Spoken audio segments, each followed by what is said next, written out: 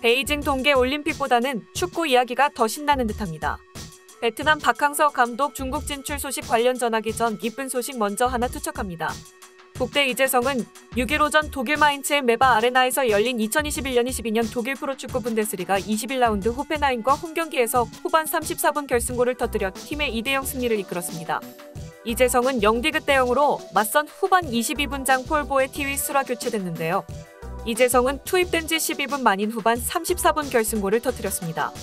카리몬이 시워가 왼쪽에서 찔러준 패스를 문전으로 쇄도하면서 오른발 슛으로 연결, 골망을 흔들었습니다. 축하해요. 지금부터 베트남 박항서 감독님 최신 소식 및 중국 축구 최신 소식 투척합니다. 박항서 감독이 중국을 3대1로 대승 거둔 후 베트남의 박 감독에 대한 평가는 하루아침에 바뀌었습니다. 중국 시합 전에는 카타르 월드컵 컵 7연패로 박 감독에 대한 여론은 완전 찬밥 신세였습니다. 심지어 베트남 언론들은 박 감독 조기 자진 사퇴하라고까지 압박을 가했습니다. 하지만 중국 3대 1대승 후 그들의 놀라운 대세 전환은 기네스북 감입니다. 현재 박 감독의 거취를 놓고 여러 설이 난무하고 있는데요. 최근까지 박 감독이 중국행 갈 수 있다는 보도들이 중국 측으로 많이 흘러나오고 있습니다. 이런 박 감독 흔들기가 계속 나오자 박 감독을 베트남 감독에 유임시키기 위한 베트남 측의 공세도 엄청난 듯합니다. 특히 중국 대승 후 한민진 총리가 그라운드로 내려가 코치진과 선수들에게 축하를 건넸고 선수단 전원에게 세뱃돈을 전달했다라고 보도했습니다. 사실 박 감독 중국행 논란은 해프닝으로 끝나지 않나 개인적 생각입니다. 그런데 말입니다. 중국 언론들 보도를 보면 박 감독의 중국행 계속 논란이 되고 있는 듯합니다. 중국 언론 베트남 축구 관련 발췌 보도합니다.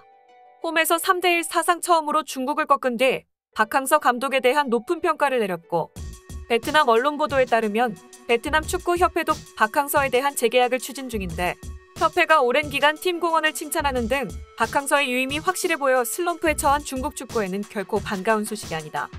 중국이 몇 년씩 자주 감독이 바뀌는 것을 보면 베트남 축구협회가 박항서를 신뢰하고 있음을 보여주는 대목이다. 중국 축구협회에 대해 말하자면 베트남 축구협회의 방법을 본받을 필요가 있다.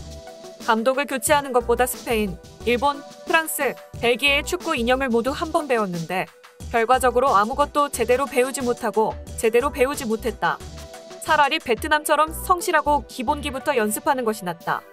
만약 베트남 축구가 이렇게 여러 해 동안 가장 큰 발전을 했다면 선수들의 몸매였을 것이다. 주목하세요. 매우 중요한 부분입니다. 사진에서 알 수 있듯이 베트남 선수들의 몸매는 매우 단단하고 선이 뚜렷하며 근육이 터져 중국 축구 선수들의 하얀색 백숙 몸매와는 극명한 대조를 이룬다. 또 중국은 박 감독의 재계약 이 중국 측에는 독약이 된다고 주장하고 있는데요. 이제 베트남 축구가 박항서를 재계약하면 중국 축구의 아시아 차원에서 또 큰 라이벌이 될 것이다. 원래 축구 대표팀은 12강전에서 일본, 호주 등과 본선 진출을 경쟁하려고 했는데 베트남, 오만 같은 팀까지 이미 강한 실력을 갖추고 있다는 것을 알게 되었다. 앞으로 축구 대표팀의 목표는 반드시 좀 더 수준 낮게 정해야 할 것 같다. 그렇지 않으면 팬들의 기대가 높을수록 실망도 커질 것 같다. 최근 몇 년 동안 베트남 팀은 줄곧 아스널의 축구 이념을 본받아 왔는데 이것이 바로 그들이 패스 컨트롤을 이렇게 잘하는 이유이다. 또 언론에 보도되었던 박 감독 말고 김종부 감독에 대한 보도입니다. 축구 대표팀이 한국의 김종부 감독을 초청 움직임을 보이고 있다며 중국 감독의 하차는 필연적이라고 해도 과언이 아니다. 하지만 축구협회가 새 사령탑을 선임한 뒤 무조건 감독을 믿고 베트남의 박항서 감독처럼 대표팀 사령탑은 물론 U23 사령탑으로 선수 차출의 절정의 권한을 가졌으면 한다. 중국은 선발 11명이 다양한 이해관계를 따져봐야 하는 상황에서 어떻게 축구를 잘할 수 있을까? 개인적 생각입니다. 중국이 베트남에 진 것을 구분을 다했을 정도로 충격을 먹은 모양인 듯합니다. 더군다나 한국 박 감독의 용병술 과 전 전술을 배워야 한다는 생각을 하는 듯합니다. 중국 축구가 돈으로도 안 되고 세월이 필요하다는 것은 아직 잘 모르는 듯하네요.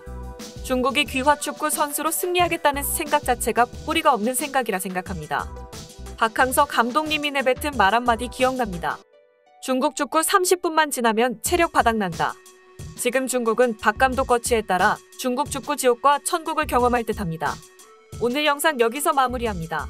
그나저나 중국 베이징 동계올림픽 몰수 하나나 감사합니다.